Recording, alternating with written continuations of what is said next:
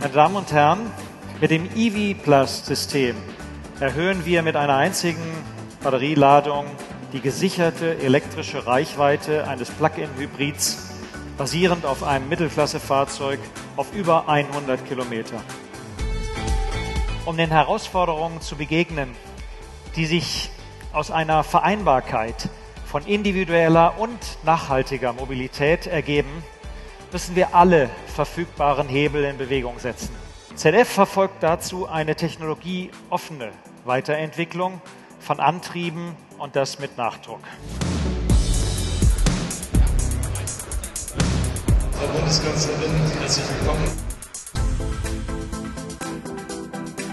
Dankeschön und viel Erfolg. Herzlichen Dank für den Besuch. Unsere Ideen helfen aber auch dabei, die individuelle Mobilität im Pkw zu erhalten und gleichzeitig sauberer zu machen.